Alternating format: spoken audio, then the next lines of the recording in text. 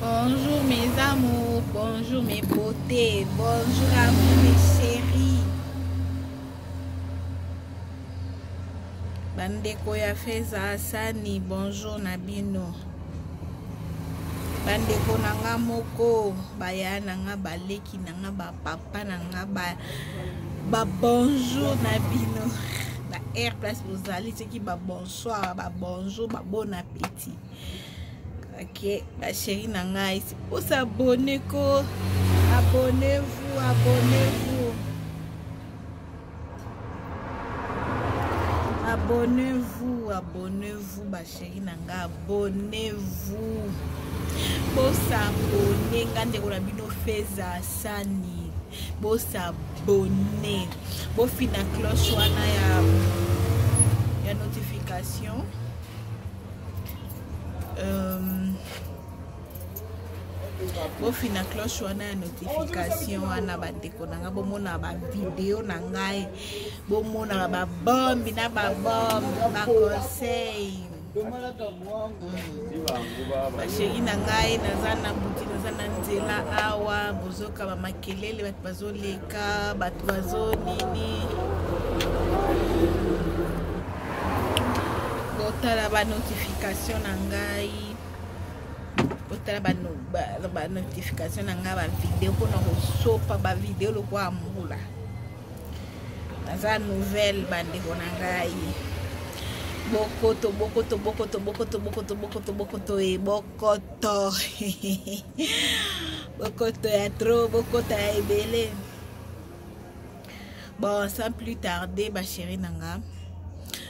ndenge na ye awa mpo na kolakisa bino euh, booster moko basheri booster wana oza na mposa ozala na tente oyo moto nyonso ta kotuno ai opakolaka nini nzoko obeti noka eloko moko omoni mpe biso e eh? mafuta omoni mafuta ndenge ezalaka mafuta ekomisaka teinture donc euh, couleur moko nzoto mobimba te omona kote moko oza pembe kote mosusu mwindu eh? mwa bapembe moko asalite nde mafuta mais soki osangisi ozobetaka mwa booster na yo oza na bacomplement ba, ba, ba alimentaire na yo bacomplement alimentaire ezalaka bien eza kutu conseiller biso excuse biso moko nanu tozala na glutation to collagène na nzoto na biso oyoki ezalaka ntango tobotamaka na yango sikoyo ntango tozokola mpe ezosilaka hmm? ndomonaka mwana ata soki akwei tellement ke aza na collagène na kati na ye omona cicatrice eumelaka te na kokauka aumelaka te na kokauka donc eumelaka te ata abukani eumelaka te na kokoma na kozala bien ke mwana akomi bien parce que aza na euh, collagène na kati na ye glutation okay. basheri na ngai melaka glutation collagène ekosunga yo yango eza mpe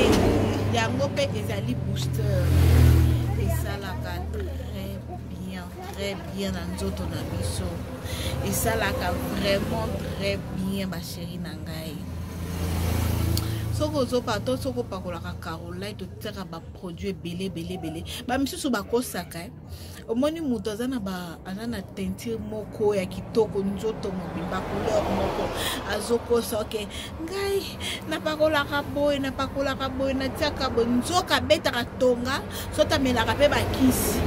amelaka bakisi bakisi oyo bacomplément alimentaire oyo ezali bien esungaka jamais soki ozala na teinture ya bien melaka glutation to collagene oyo original wana melaka yango okoyebisa ngai na ozopakolaka mafuta no ata mafuta no ezali ya, ya, ya, ya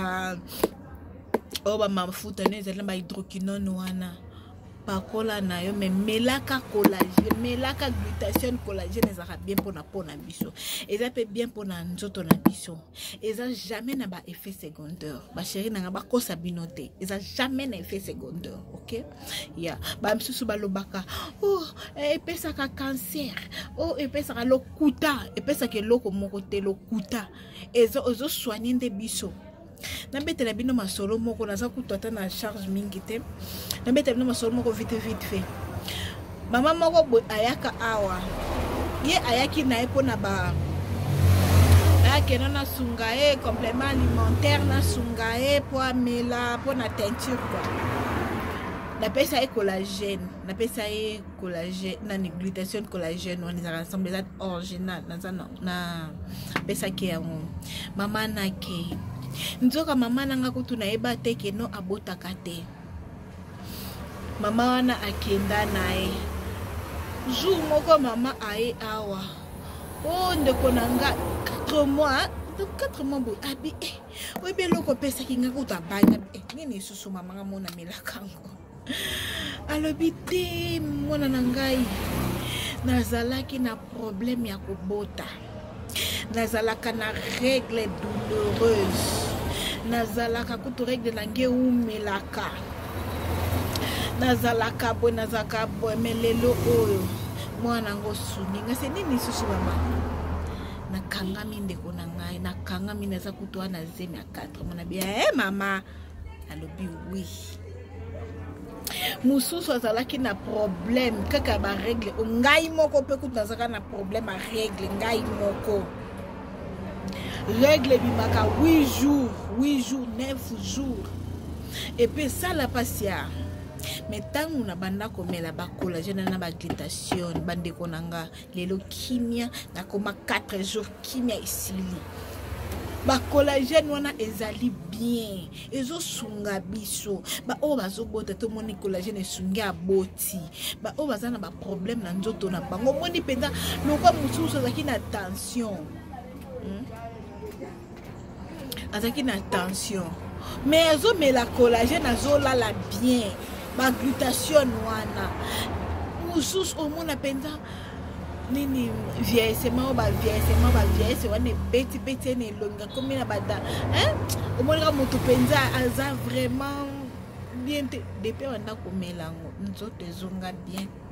elongi ekoma bien akoma vraiment jeune akomaki okwa koko moko bamikolo akomi jeune mpona bacollagene baglutation eza très bien mpona nzoto na biso ata na badocteur bakomela balobela moto melaka collagene avant ngai nabanda komela collagene nakende mpe natuna docteur na ngai ya ndima alobi ke te eza important na nzoto na biso ok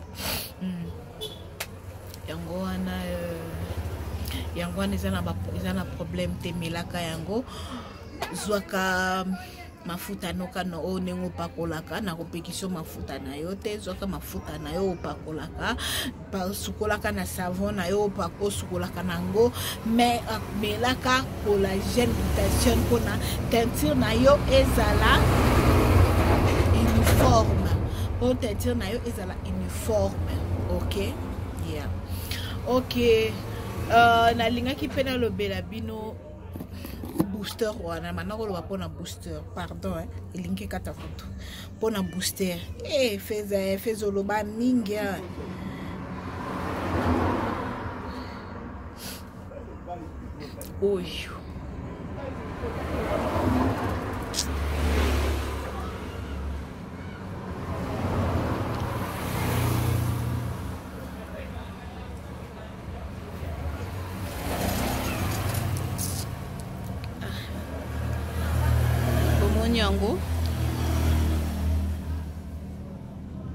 bakomi yango royal ultra booster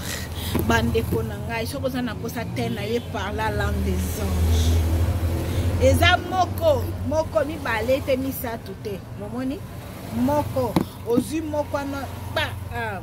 c'est fini okolamuka na ntongo teinture ekomochange okay. soki oza na mposa okoma tenso lokola nga zwa yango kaka moko beta pakola na mafuta no normal eza nango booster omona ndenge te na yo ndenge kopala langue soki oza na mposa okoma lisusu pembe makasi oyo ya makasi wana obeti mibale yo moko koloba wow pourkui nabandaki koreve yango wana pakolaka mafuta na yo me kobosana complément alimentaire te kobosana mpe te ke royal oyo eza ezobooste bakomi yango royal booster ezobooste ezobooste bandeko na ngai ok mes chérie bosalela yango bino moko bokomona ok na video mosusu nakolakisa bino ndenge basalaka savon molato ngai nasalelaka savon molato nasukolaka mpe na uh, albino cream ya yeah. nasalelaka albino cream nasukolaka na savon molato molato na ngai nakolakisa bino ndenge nasalaka ok ata mpo video oyo namoni elingi ekata nakolobela bino na video mosusu ndenge nini nasalaka savon molato na ngai ok nakolakisa mpe bino